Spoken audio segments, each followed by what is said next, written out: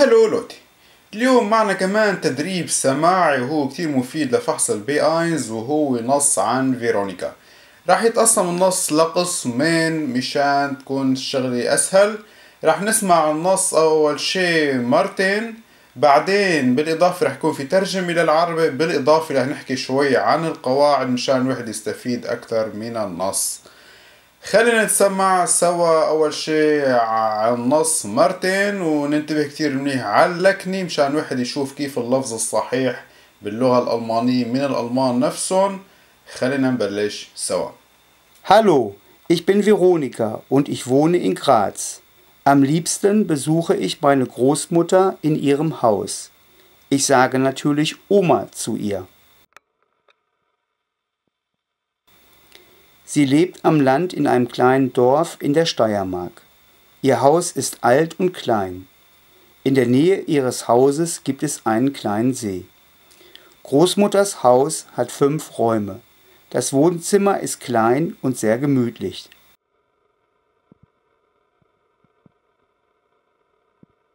Dort stehen ein Sofa, zwei Ohrensessel und ein kleiner Tisch und es gibt auch einen Kamin.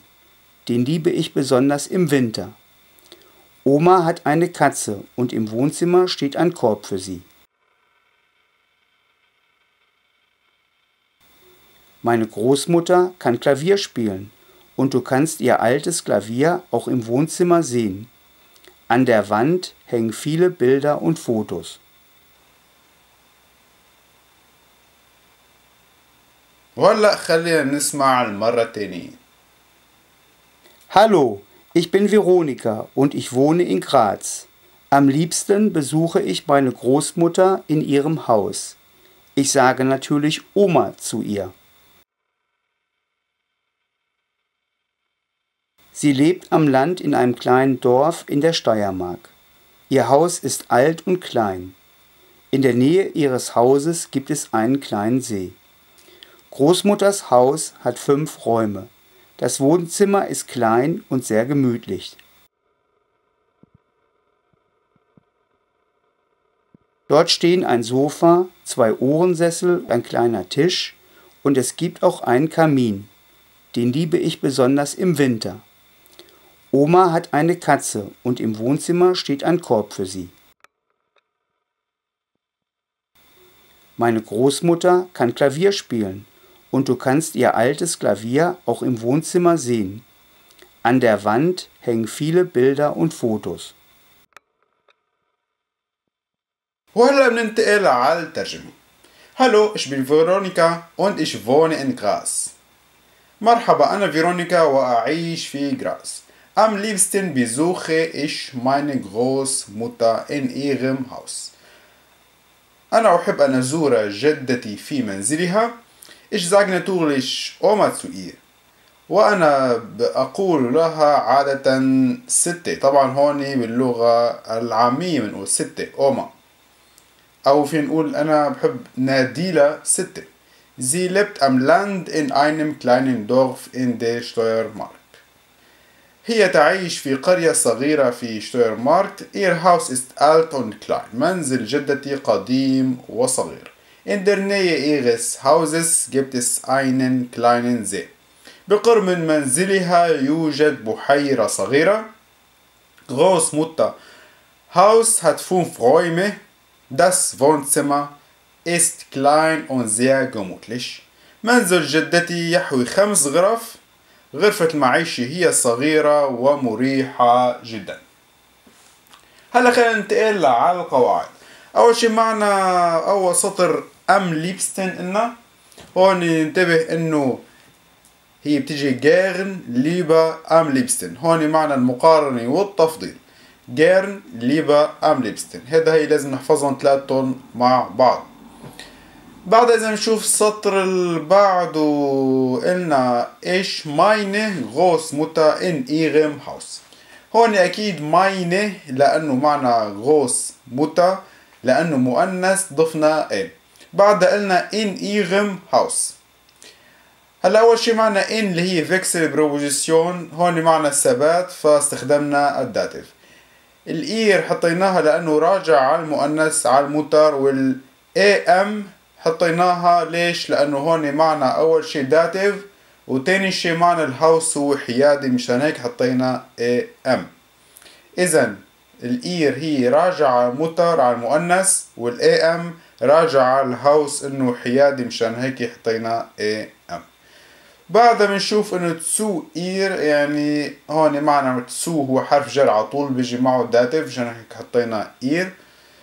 بعدها بنكفي in einem kleinen Dorf Dorf هو حيادي مشان هيك قلنا einem و kleinen حطينا en لأنه هون معنا إعراب الصفات. كمان حكينا عنه بدرس منفصل عم يطلع على الشاشة من فوق. بعد ما نكفي ihr Haus ist alt und klein طبعا ihr راجع على ال Oma على المؤنث. بنكفي على بعض وان نية لازم نحفظها بالقرب من.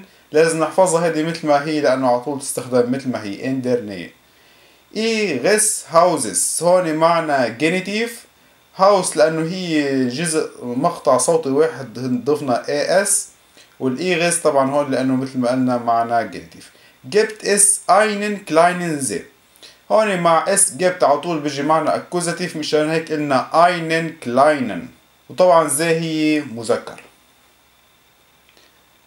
هلأ خلينا نكفي على المقطع اللي بعده نشوف الترجمة. Dort stehen ein Sofa, zwei Ohren Sessel, ein kleiner Tisch. هناك في غرفة المعيش طبعا مقصود لأنه راجع الحكي على المقطع اللي قبله. هناك يوجد أريكة كرسيين وطاولة صغيرة. Und es gibt auch einen Kamin ويوجد أيضا مدفأة. كمين هي نفسها بنقول كمان شومينيه نفس المعنى. وهناك يوجد ويوجد أيضا مدفأة. دين ليبي إيش besonders im Winter التي يحبها أنا بشكل خاص في الشتاء. Oma hat eine Katze und im Wohnzimmer steht ein Korb für sie الجدة أو الستة عندها بسي عندها قطة وفي غرفة المعيش يوجد سلي لها شو يعني يوجد سلي لها؟ يعني محل مشان تنام القطة فيها Meine Großmutter kann Klavier spielen. جدتي تستطيع العزف على البيانو. Und du kannst ihr altes Klavier auch im. وفيك أنت تشوف البيانو القديم الخاص فيها في غرفة المعيشة. An der Wand hängen viele und Fotos. على الحائط معلقة العديد من اللوحات والصور. هلا خلينا نشوف شوية قواعد. معنا بالصدر الثاني es gibt Kamin. es gibt auch Kamin. مثل ما قلنا هلا من شوي مع es يوجد من على طول بيجي معنا Akkusativ شكل قلنا einen طبعا Kamin بما إنه هي مذكر. وبعد قلنا den liebe ich besonders im Winter هلا بالنسبة ل den هي راجعة على ال Kamin مشان هيك قلنا den. وبعدها بنلاحظ إنه مع Winter هي الشتاء مشان هيك قلنا im Winter نحفظها مثل ما هي im مع الفصول. مكفي بعدها kann Klavier spielen. طبعا Modalverben أو افعال كيفية بيجوا بنستخدم معهم على طول الفعل بال Infinitiv مشان هيك قلنا spielen. وبعدها بنشوف altes Klavier طبعا Klavier هو حيادي مشان هيك قلنا altes النهاية تبعته es وآخر شيء عم تشوفوا قلنا an der Wand hängen viele Bilder und Fotos هون طبعا معنا an هي مثل in هي Wechselpräposition يعني بنفس الفيديو مرقوا أكيد إذا بتحضروا الفيديو بتشوفوا التفصيل عنهم قلنا an der Wand hängen لازم ترجعوا على الدرس إذا ما كنتم فهمانين الموضوع. اذا مشاهدينا هيك خلص الجزء الأول من فيرونيكا.